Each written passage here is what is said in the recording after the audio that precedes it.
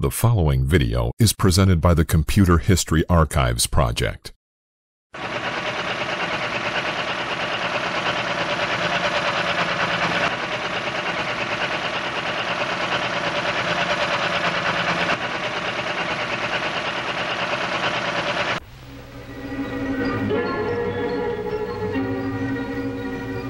Six, five, four, three, two, one, zero.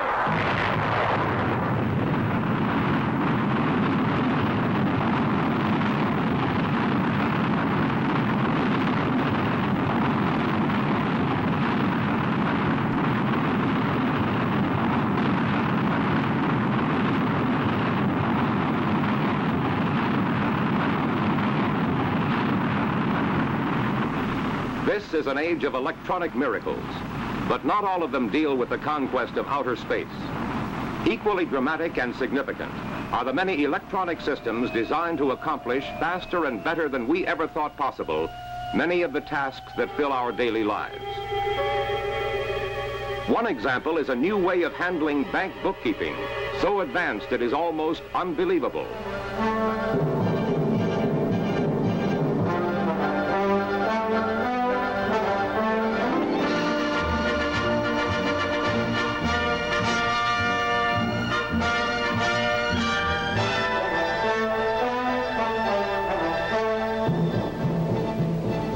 Many centuries, bank bookkeeping was no faster than the speed of a clerk performing all of the many necessary operations by hand. The first revolution in bank record keeping occurred about the time of World War I, when bookkeeping machines were introduced. Since that time, these machines have remained virtually unchanged. 40 years ago, bookkeeping machines ranked as a significant improvement. Today, they are as obsolete as quill pens.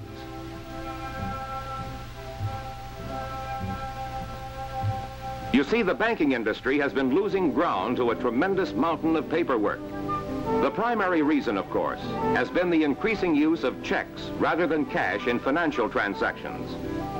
The number of checks being written this year is more than four times the total of only 15 years ago. What's more, the number of checks will double in the next 10 years. Obviously, new and improved methods must be adopted by America's banks to supplement existing bookkeeping machine operations.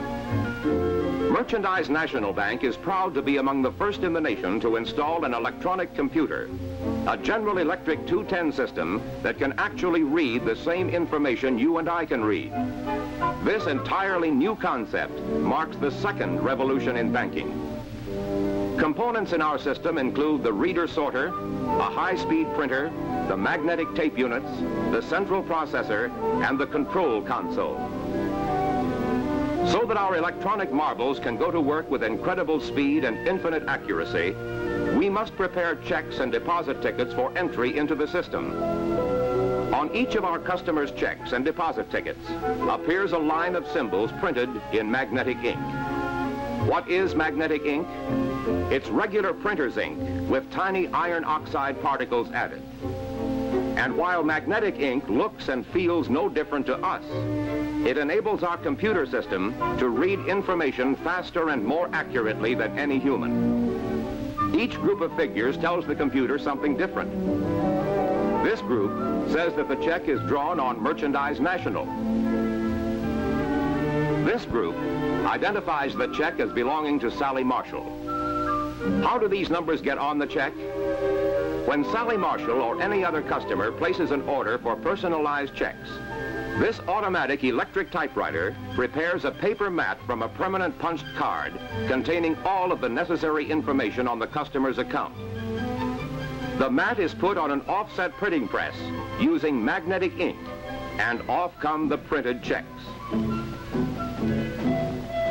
To make sure that we've added just the right amount of iron oxide particles to the line of symbols on Sally's checks and deposit tickets, we test samples on this signal strength machine. The gauge assures us that the computer system will be able to read the information on Sally's checks and deposit tickets.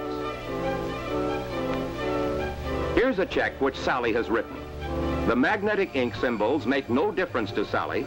She writes checks just as she always has. This particular check, made payable to Jones Pharmacy, is for $10. When the check is presented to Merchandise National for payment, two more items of information will be added to the line of symbols. The amount of the check, $10, and a transaction code indicating to the computer that this item is a check to be charged against Sally's account. Now let's take a closer look at each of the components in our system to learn the functions they perform. This, you'll remember, is the reader sorter. All checks and deposit tickets enter the computer system here in the loading mechanism. There's no need to separate them in advance, for the reader sorter will read, sort, and interpret information on all types and sizes of items in the same run. Remember our saying that the computer could actually read information? This is where it's done. The magnetic ink characters on each check and deposit ticket are magnetized just before passing a reading head, which interprets impulses given off by the magnetized particles. What if there's an item the computer can't read? This happens infrequently, but when it does, the item lands in a reject pocket for special handling. Looks fast, doesn't it? It is. An average of 750 items per minute is passing through the machine, accomplishing sorting 13 times faster than can be done by hand. The computer system not only reads information, it records all of the vital details on magnetic tape.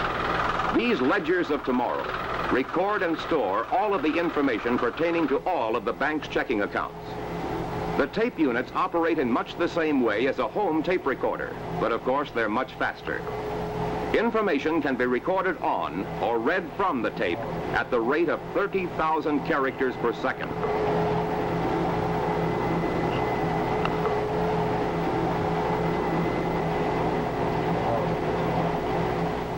In addition to high speed, the tape units save space. We can store the detailed records on all of the bank's commercial and special checking accounts on just one reel of tape. This replaces 17,000 separate ledger cards. Is the bank's operation dependent solely upon information stored on these tapes? The answer is no. For the high-speed printer prints records on paper for us to read in familiar words and numbers. Under direction of the computer, this machine prints all journals, reports, and other information needed by management, as well as the statements for customers. It prints 600 lines of words or 1,200 lines of numbers per minute. Looking over the console operator's shoulder, we see the central processor, the unit that performs all of the additions, multiplications, and other arithmetic necessary in deposit accounting. The operator's console itself is the nerve center of the whole system. Here are scores of flashing lights, buttons, controls, switches, and an automatic typewriter.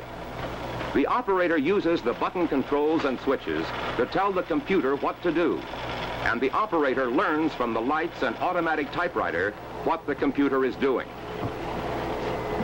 Now let's follow a bookkeeping run of the system to see how the units join forces to provide customers with the world's fastest, most accurate deposit accounting. Sally Marshall's check is among the many items included in our first operation, the entry run. Her check, along with a number of other checks and deposit tickets, is placed in the loading mechanism of the reader sorter. The machine will read every magnetic ink symbol on Sally's check verifying that the account number represents a valid account. The bank identification number will be checked to make certain the check is actually drawn on Merchandise National. After the check has been read and verified, the document itself is canceled and filed. But the information contained in the magnetic ink symbols continues to play an important role in the operation of our system. While the reader sorter was sorting documents, all of the important information in the magnetic ink line of Sally's check was being placed on magnetic tape for future use. What's more, the same data were printed out by the high-speed printer for immediate examination. Both the magnetic tape and high-speed printer contain information concerning Sally's check and all other documents in the same random order in which they were received by the reader sorter. Obviously, we'll need to rearrange this information by account number. A second run, the computer sort run, accomplishes this rearrangement at the same high speed maintained in the initial sorting and presents us with the information read from the checks and deposit tickets in numerical order. Now, we're ready to do our daily posting using the transaction tape, which lists checks and deposit tickets in account number order, and a master file tape.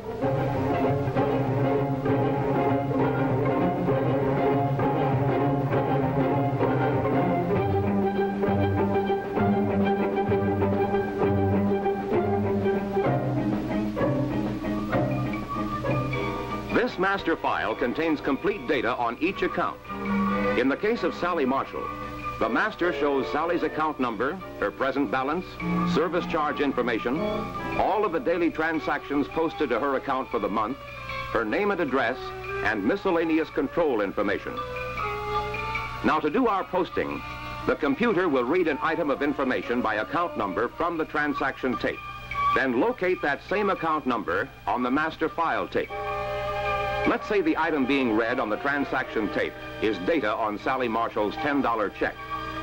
The system will post Sally's account, the service charge information, miscellaneous information, and add this transaction to the record of previous transactions. Thus, after all of the day's transactions, Sally's and those of all other customers have been recorded. An up-to-date master file is created, which will be used in the next day's posting. After the computer posts each customer's account, the high-speed printer prepares for the bank's use a daily journal and trial balance, reflecting all of the information posted to the various accounts. This form allows us to read all of the information compiled on tape by the computer. A special tape is used to record exceptions which appear in the updating process. Included are overdrafts, closed accounts, and special statement requests. To complete daily deposit accounting involving up to 30,000 transactions will take three or four hours of computer time. Formerly, 60 man-hours were required for the same operation. Now let's take a look at how the computer system handles production of customer statements. Let's take Sally Marshall's statement as a case in point. First, the computer will call into action the master file record of Sally's account. The computer will take Sally's name and address from the tape, locate Sally's opening balance, and print that information on her new statement. Next, all of the detail involving Sally's account is printed, from earliest to most recent. The final bit of information to be recorded will be Sally's current balance.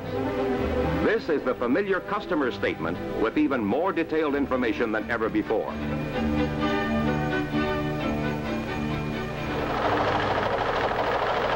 This, then, is the electronic age in banking, the reader sorter, which can sort checks 13 times faster than we were able to do by hand.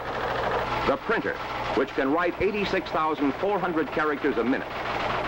The tape units, which can store on just one reel complete information on all accounts, replacing nearly 17,000 separate ledger cards formerly used. The central processor, where logical elements for controlling the system are stored. And the operator's console, nerve center of the entire system.